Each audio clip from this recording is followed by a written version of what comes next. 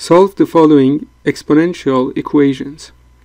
I start with equation 1.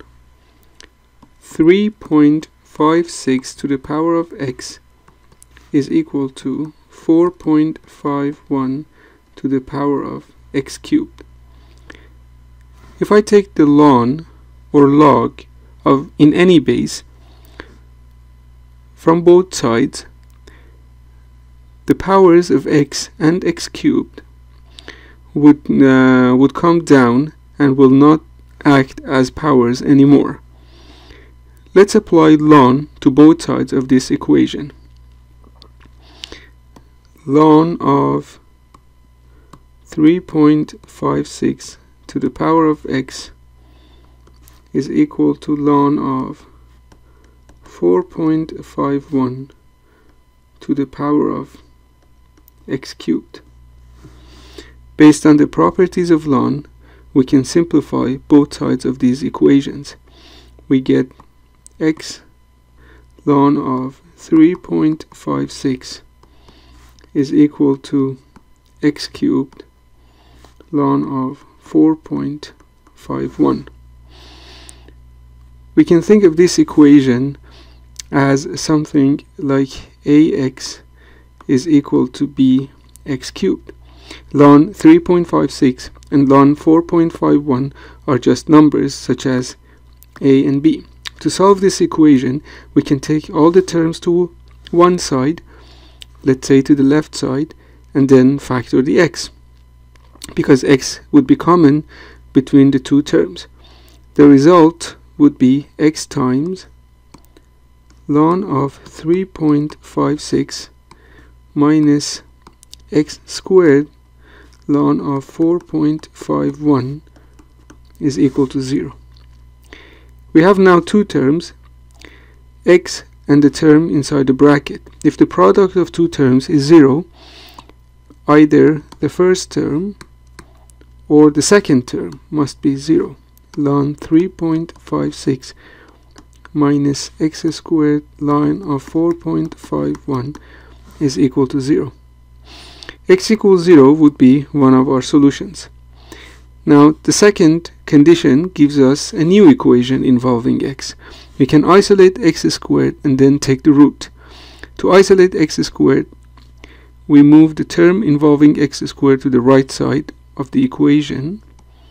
3.56 is equal to x squared ln of 4.51 now we divide both sides uh, by ln of 4.51 to get x squared is equal to ln of 3.56 divided by ln of 4.51 and if we take the root we would have x equal to plus minus root ln of 3.56 divided by ln of 4.51 and this is the solution to the problem.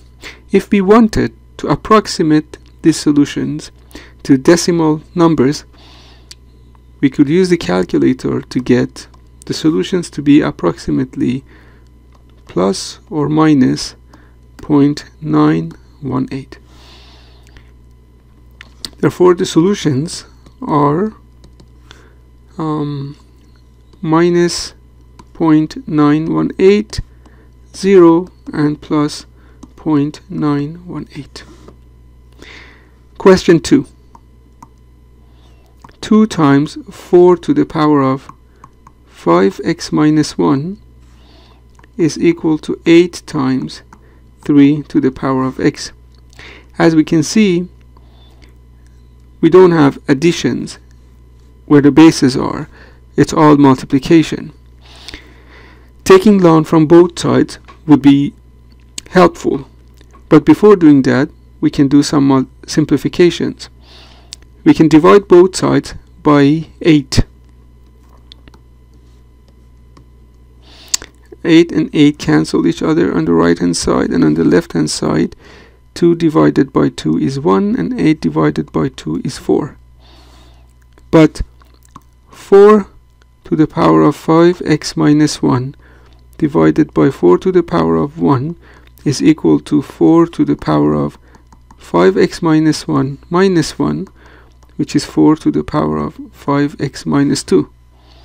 Therefore the left hand side becomes 4 to the power of 5x minus 2 and the right hand side is 3 to the power of x. Now we can take log in some base from both sides of this equation. I would use ln and I would have ln of 4 to the power of 5x minus 2 is equal to ln of 3 to the power of x. We can use the properties of ln to find 5x minus 2 ln of 4 is equal to x ln of 3. This is a linear equation in x. We can keep all the terms which involve x on the left hand side.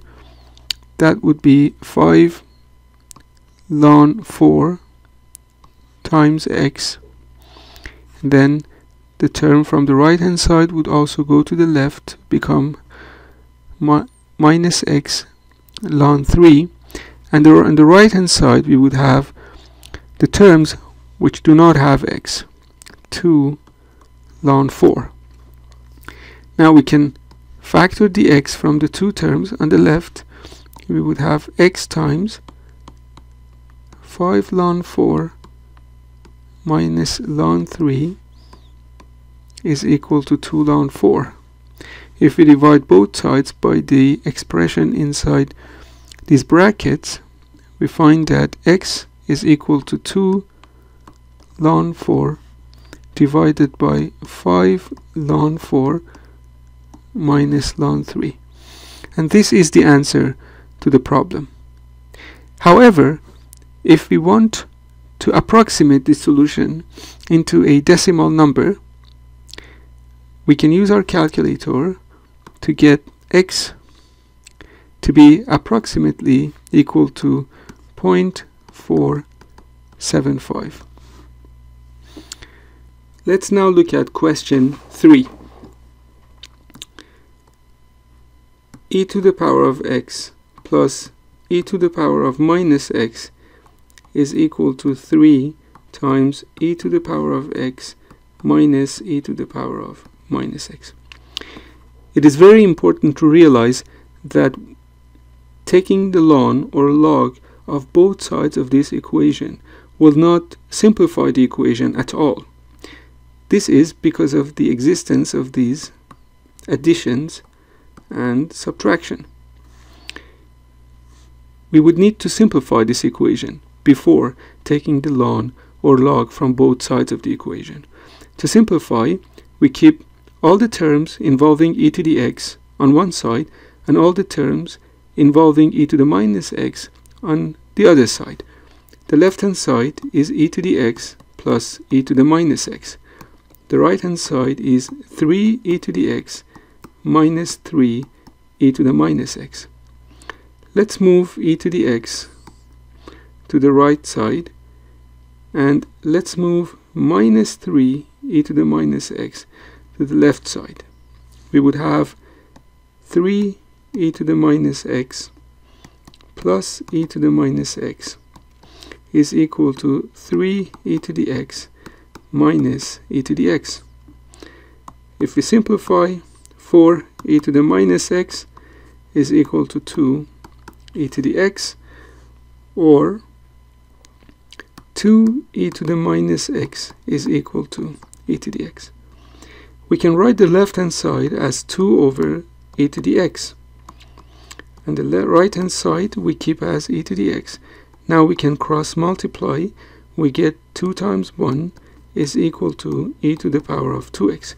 Now we can take the ln from both sides of this equation. We get ln 2 is equal to ln e to the power of 2x. On the left hand side we keep ln 2. On the right hand side we can use the properties of ln to write 2x ln e. But we know that ln e is equal to 1. Therefore 2x is equal to ln 2 and if we divide both sides by 2 we get x is equal to ln 2 divided by 2. This is the solution to the question. If we want an approximation for this solution, we can use the calculator to find x to be approximately equal to 0.347 if we keep three significant digits. Last question, question 4. 5 to the power of 2x is equal to 5 to the power of x plus 1 plus 1. Once more, taking the ln or log of this equation will not simplify the equation at all. The reason is this plus 1 here. However, by looking at the equation, we realize that the left-hand side can be written as 5 to the power of x to the power of 2. We can go backwards to see whether this is correct or incorrect. And the right hand side can be written as 5 times 5 to the power of x.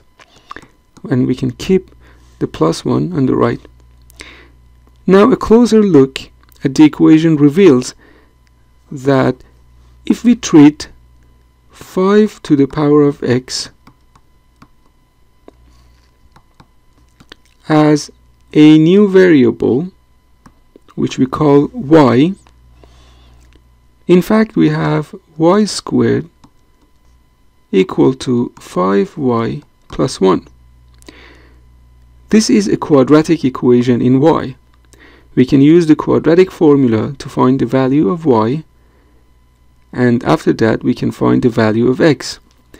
Let's find the value of y Let's take all the value, all the quantities to the left. We would have y squared minus 5y minus 1 equal to 0. If we use the quadratic formula, we will have y is equal to minus b plus or minus root b squared minus 4ac divided by 2a, which if we simplify, becomes 5 plus or minus root 29 divided by 2.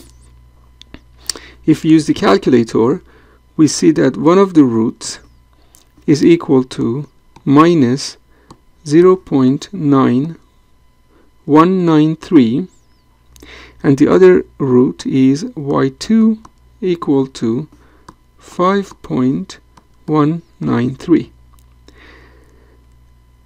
We took y to be e to the power 5 to the power of x.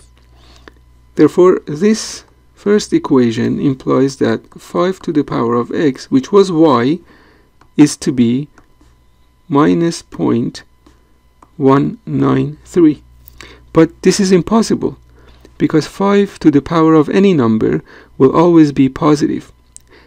Another way to realize that this is not correct then there is no value for x satisfying this equation is to take the ln of both sides which would imply taking the ln of a negative number. Therefore, there is no solution from this equation. No solution for x.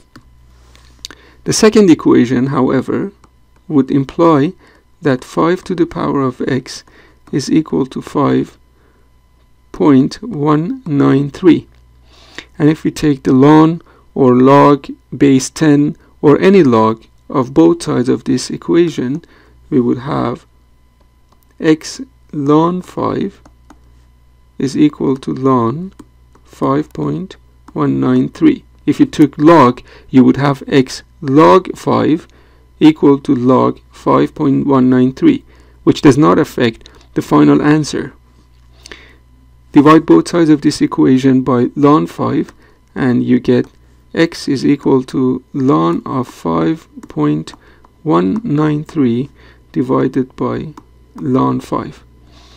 If we use our calculator, this is approximately equal to 1.024.